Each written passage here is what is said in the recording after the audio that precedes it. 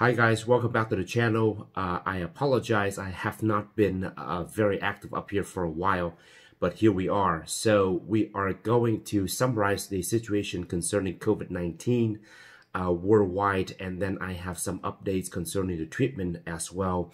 So we need to talk about a lot of numbers, and let's dive right into it.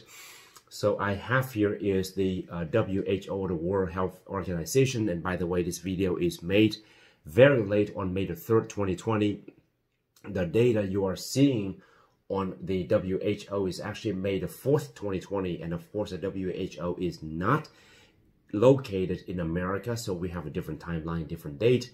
We are standing at over 3 point, almost 3.4 million confirmed cases worldwide, 90,000 cases uh, that are new, and we have almost 240,000 deaths reported so far by the WHO.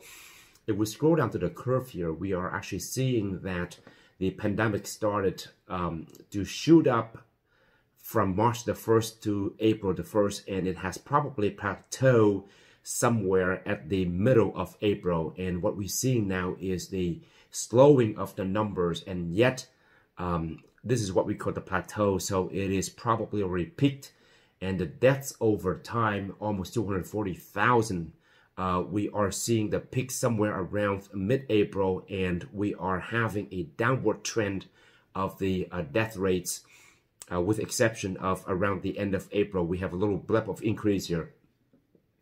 Uh, so these numbers are by the WHO and the WHO is always a beat behind. So we are going to go to the Center of Disease Control or the CDC and this situation is more important for the United States. We are standing at 1.1 million cases with almost 30 new thousand cases for May the 3rd, 2020. And we are talking about over almost 66,000 deaths. And uh, in the state of Virginia, where I live, we are at almost uh, 18,000 cases. But in fact, if you go to the Department of Health, Virginia Department of Health to be precise, we are at 18, almost 19,000 cases of COVID-19, to which we have over 660 deaths and over 2,600 hospitalizations and we look at county per county, there's only three counties in the United States. Last there was five, but there are only three counties now in you in Virginia rather that do not report any cases of COVID-19. Fairfax was the most heavily hit with over 4,300 cases, followed by uh, Prince William, over 2,000 cases, and then Loudoun at 931. If we look at the curves in Virginia in particular, we probably see the potential peak here at the end of April, and we expect the numbers to probably plateau or going down from the weeks to come. So that is a bit of good news for people who live in Virginia like myself. But overall, the situation in the United States is by no means out of the woods. So here is another very interesting website I want to present to you guys. is actually by the Singapore University of Technology and Design uh, SUTD, uh, the so-called Data-Driven Innovation Lab, and they are using mathematical equations and also um, uh, world data from different universities, including Washington, Texas, Imperial College of London, and MIT, and they actually put together different curves of different countries. And as you can see here, worldwide, uh, they predict the really downward trend of the pandemic which probably would happen at the beginning of June and also at the end of June. Uh, for the United States, they actually predict the pandemic would be significantly uh, improved by June and also um, towards the end of June or beginning of July. Uh, things would probably not going to go back according to a theoretical theoretical ending on uh, October the 1st, 2020. So these are estimates. These change all the time. It depends on the number of cases coming in and on, depending on the data. But as you can see, we are certainly we are certainly not out of the woods. We are just plateauing, uh, and things are not immediately better. Uh, if we're not careful, this curve will probably bounce back pretty rapidly. So the second study coming out of France by Dr. Raoult uh, from Marseille concerning the combination of hydroxychloroquine and azithromycin. And I have the study right here, which I'm going to post it online for you so you can also look at it. But the data is much more than the initial study that was done uh, prior with 26 patients. The second study actually involved 1,061 patients, and I will show you uh, what are the numbers that Dr. Raoult actually posted uh, on his uh, study. So basically a cohort of 1,061 patients of COVID-19 and they were given in the uh, they were given the combination of hydroxychloroquine and azithromycin for at least three days and they follow these people for at least nine days and their endpoint the endpoint of the study is actually deaths or worsening of the viral shedding persistence and the study actually lasted from March the 3rd to April the 9th and they actually screened about 60,000 people and in which a 1,061 people actually met the criteria for the study. And they use uh, I'm sorry, they calculate the mean age was 43.6 years of age, to which 46.4% were males, and 91.7% uh, had a clinical outcome that was favorable, and that justified by having a virological or virus clearance or virus cure in 973 people or patients within 10 days. And he considered people who took more than 10 days to cure was a poor outcome. Uh, so five people have died, 10 people were transferred to the intensive care unit, and it represents a fatality rate of 0.47% uh, between the age of 74 and 95 years old. Uh, 31 people require more than 10 days hospitalizations. And uh, so far from the study, he indicates that the cure rate from COVID-19 is 98% among all of the patients so far. But it is important to um, notice that there is no control arm in the study. So it is an observational study. Uh, it is an open label study, so the researchers, the doctors know exactly who the patients are. The patients know exactly what they, they were getting in terms of uh, medications. So there was no double-blinded trial. There was no control. So it is an observational open label study. Um, there are many studies like this ongoing right now. There's one in Minnesota right now, and we're going to find the result uh, of that study in the following weeks to come. So another study was published in the New England Journal of Medicine uh, concerning uh, remdesivir, compassionate use for remdesivir in the severe COVID-19 patients. And this study was published around April 2020. Basically, the method of this study was to use remdesivir on a compassionate use basis to patient who was hospitalized with COVID-19. And basically, the uh, result indicate in 61 patients who received at least one dose of remdesivir, and uh, they observed how these patients were doing over uh, several days. Uh, involved 22 patients in the United States and 22 patients in Europe or Canada.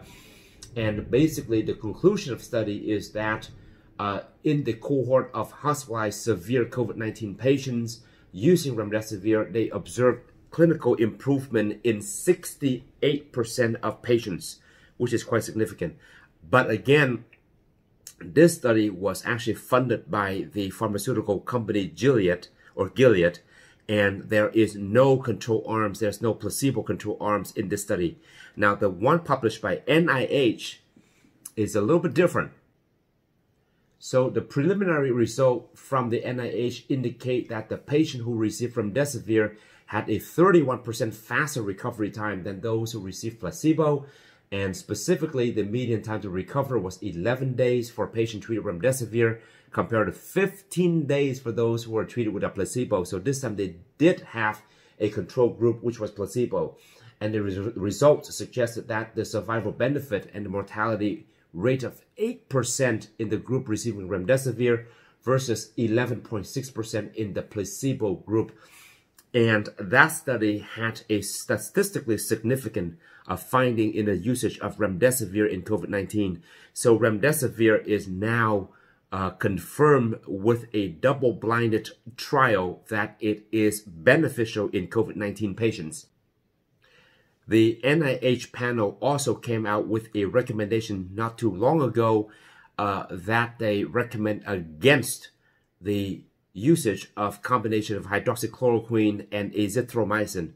And uh, I find it quite amazing that uh, they are they're actually against such treatment that has been proven in France that it might be beneficial. Remember, guys, when penicillin was invented in 1945 uh, for military use and approved for civilian use in 1947, that study only had 10 patients. So that was back in the 40s. Um, we have here two study. One study was 26 patient and the second study was 1,061 patient. So that is significantly more than 10 people that we have for penicillin back in the 40s. And uh, this is just me presenting to you that among the NIH panel that recommended against the usages of hydroxychloroquine and azithromycin, nine of those uh, re, uh, researchers on the NIH panel worked for Gilead. Okay, nine of them. And uh, Gilead stocks went through the roof when they came out with the study of remdesivir, which cost thousands of dollars per dose, versus hydroxychloroquine uh, costs almost nothing. And azithromycin or Z-Pak costs almost nothing. So something to uh, keep in mind. Um, the American College of Cardiology also came out with a study uh, recommend the risk of ventricular arrhythmia risk due to hydroxychloroquine and azithromycin treatment for COVID-19. So you can read the study, but basically the recommendation in this study uh, and this article is to be very careful in combination of the two because as I explained in the past two videos, the combination of these two medication actually increase the risk of prolonged QT syndrome and that would lead to um, increased risk of fatal ventricular arrhythmia, and that can actually lead to sudden cardiac death. So basically, American College Cardi uh, Cardiology does not recommend against the usage of uh, these two medications, but rather recommend to be extremely be careful with these two medications, and that patients who uh, are treated with this combination uh, ought to have a serious discussion with their physician. They should get an EKG done and they should have uh, blood work done to determine their uh, electrolytes, mainly the magnesium, the potassium, the sodium, and also uh, people should not self-medicate with this medication. In some countries, uh, they can actually find this medication over the counter very easily. So the newest kit on the block at this point is actually convalescent plasma and that basically is when you extract the plasma from an infected and recovered patient and you spin down the plasma, you extract the antibodies out, and you would then transfer these antibodies into a newly infected COVID-19 patient. That is still going on, and we should find out the result of that study in the weeks to come. Also, they are also using uh, interleukin-6 inhibitor, as I discussed in my previous two videos, and that is to basically reduce or prevent the so-called cytokine storm in hospitalized COVID-19 patients. And it also seems to have promising result. Now, uh, the combination of HIV medication, namely lopinavir and ritonavir, that was uh, showing very promising uh, sign in the beginning, uh, turned out to be not uh, as promising. So that combination of treatment is actually falling out of favor. And uh, there is also a article by the New, New England Journal of Medicine also presented the proof that that combination is not statistically significant, meaning that it is not much better compared to the placebo study. So that combination is falling out of favor and is no longer being considered in the pipeline. Now, the vaccine is currently in the work and we are still months away. Uh, but hopefully by the fall or the winter, hopefully we should have a much better answer or um, idea on how soon a vaccine should be available. So these are the uh, latest update concerning COVID-19 and uh, I will see you back as soon as possible. Thank you for listening.